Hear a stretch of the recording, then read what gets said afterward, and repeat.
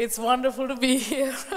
Thank you, Margo, for the lovely speech, and uh, hope you enjoy my French classes. Um, spectacles, that is. Uh, thank you, really, for this great and slightly terrifying honor of being in the same room with some of the greatest artists, musicians, scholars, sculptors, poets, historians, and writers, thinkers of this land. People often ask me, is it difficult being an Indian woman director in America?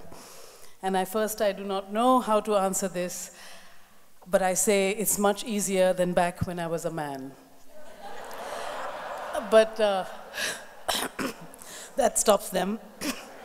but uh, seriously, I am very relieved to be a woman and to be from India where paradoxically I grew up seeing women on either side of Mahatma Gandhi fighting for freedom from the British in our country. The country was for years uh, led by a woman prime minister, the thought of which still gives the United States indigestion. Um, my dynamic mother was an early inspiration. Uh, when I was eight years old, she called herself a professional beggar. She raised money for the first home for healthy children born to leper parents in my town. So I was brought up with the foolish confidence that anything is possible. I grew up in a small town in Orissa in India. In those days, it was considered the backwaters, the, ba the armpit of India. My two elder brothers had been sent to prestigious boarding schools, and I was expected to stay in the all girls convent taught by non teachers, whom I call the ladies in waiting, each waiting for an arranged marriage that was bound to come. I carefully and patiently crafted my escape uh, and found an admission in, at the wonderful school at the foothills of the Himalayas, an Irish Catholic boarding school, from where Mother Teresa, in fact, came. It was called Tara Hall in Simla and was terribly Irish, but also very British. If we said Tara Hall as opposed to Tara Hall, like Gone with the Wind, we would get smacked on our knuckles. But that was the place where I first fell in love with America. I was sick one day up in the mountains, being rushed to hospital in a horse drawn carriage. And it was James Taylor, one of our honored medalists tonight. I'm so upset he isn't here, but I hope to give him a big hug tomorrow, who comforted me night after night with his haunting voice and iconic lyrics of his classic song, Fire and Rain. It was the era of the Vietnam War, and it was the music of peace and protest that fueled me the great conversation of race in Harper Lee's To Kill a Mockingbird that kept me going. We all thought we were scout in our little boarding school. It was the wild imagination of the group theater in New York, of Jean-Claude van Itallie and Joseph Chaikin that inspired me. It was the speeches of Malcolm X, the irreverent humor of Philip Roth's Goodbye Columbus that we read under the covers of our counterpanes. That was our Irish Catholic word for bed covers that the nuns insisted we use. But it was all together an America that was so different and freewheeling and youthful, and that kept me wanting more and kept me wanting to come here. Margo gave away my line when I was going to say, People don't believe me when I say that it was really love story that brought me to America. At the Odeon Cinema in Delhi, as a 19 year old who dreamed of changing the world through really political theater, I watched Ali MacGraw and Ryan O'Neal flirt on Harvard's Ivy laden campus, and I thought that place looks like they could afford to give me a full scholarship. and you know, it,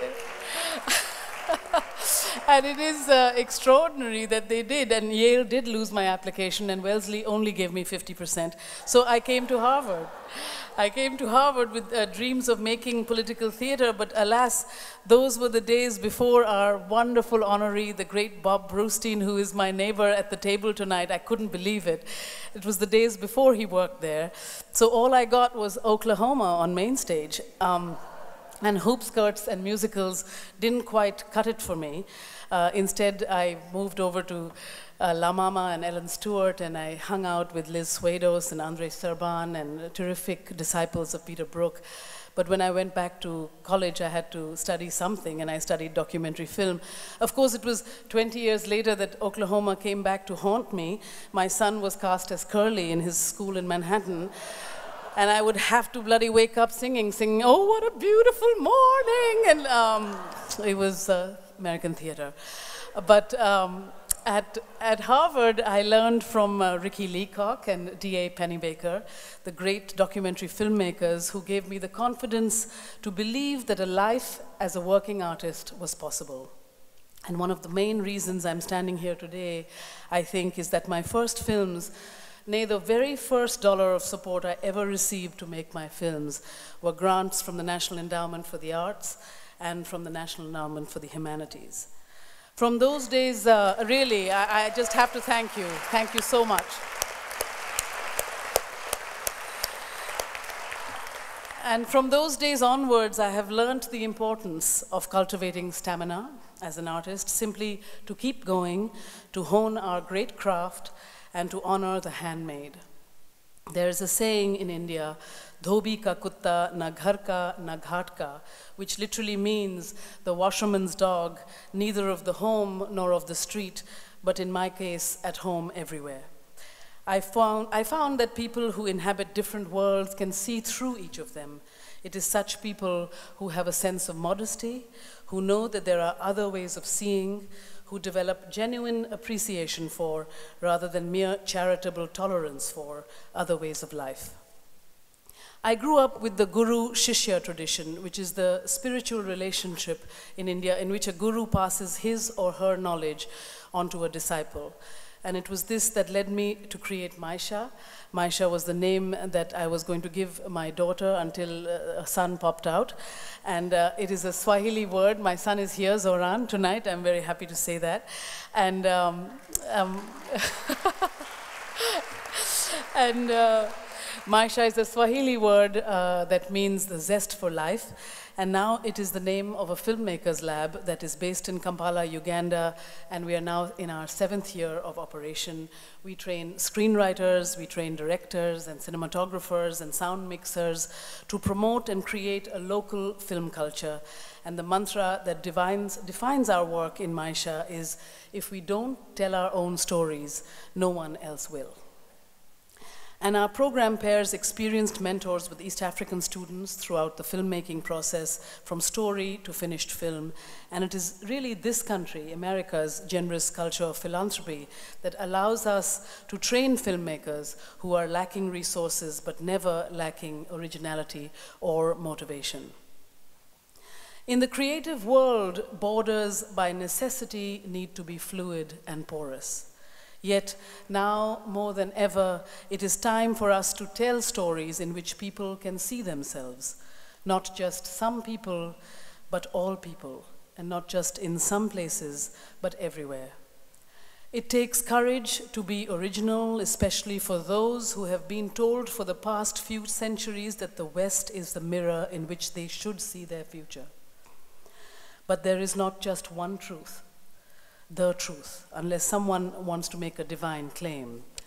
There are so many truths, and it depends really on who's doing the looking and from where. And therefore, we really must celebrate and we really must nurture our wonderful artists. So many of us, so many of them are here today. We must learn from Bob Brustein. Without him, we wouldn't have the Yale Repertory Theatre, one of the most recognized regional theaters in the country, bringing talented students and seasoned professionals together. We wouldn't have the American Repertory Theatre. Too bad it wasn't there when I was there, but one of the top theaters in the country, known for celebrating, innovating uh, dramatic voices like Robert Wilson, like David Mamet, and Philip Glass. And without Harper Lee, we wouldn't have one of American literature's greatest achievements, a novel that changed the direction of the conversation of race in America. And without Jacob's Pillow, dancers like Martha Graham and Alvin Ailey and Mark Morris wouldn't have had the support that they needed to soar to great artistic heights and bring America to the forefront of modern dance and innovation. And without Sonny Rollins, I wouldn't have my knees so weak tonight. I've got to meet Sonny Rollins. Please, someone take me to him. The, the sound of jazz would not have evolved the way he has made it. He changed the way so many jazz musicians approach improvisation, especially on the saxophone. And of course, without Meryl Streep, whom I have the great uh, privilege of knowing, the world would not know how deep an actress can get under the skin of a character without ego, without vanity, with pure craft, in such a sense that you forget the craft. Her transformative ability has forever set the bar higher than any actress working today in America and beyond. And without Joyce Carol Oates, please someone take me to her too, uh, American literature would be lacking such a significant, such a moving, boundary-breaking feminist contribution and hundreds of literary students that come from her, and I, I know many, Jonathan Safran Foer, Mohsin Hamid, the, the, his novel is the one I'm just about to start shooting in a film, The Reluctant Fundamentalist, and Joyce Carol Oates was his teacher, and she was a visionary teacher. And without Arnold Rampersad, the world would be lacking the seminal biography of Langston Hughes, and we would not know the sweat and the blood and the struggle of, the of Ralph Ellison, and he wrote that first biography. All of the individuals here tonight are true luminaries. Their visionary quality has defined America around the globe for many decades. Th these individuals have, with their work, brought us truth, truth and beauty with great feeling personal and political stories about how they see the world. We need them more than ever in a world which markets beauty as commerce and increasingly finds truth unpalatable. As this world changes before our eyes, it becomes increasingly necessary to join beauty with truth so we may give expressive freedom to those who call for a change in the world. Not simply in Egypt and Libya and Wisconsin, but also in the little mosque and cultural center a little down from Ground Zero, and in so many places where the gunfire is American, so that a child on the street in Kabul can associate the USA like I did with a novel, a story, a poem, instead of a violent siege. We need to bring this country back to being defined by artistry instead of war. We can affect the world in far greater in deeper and more positive ways than a missile. If we put even a tiny percentage of our military budget back into prioritizing the arts, it would be a step in the right direction.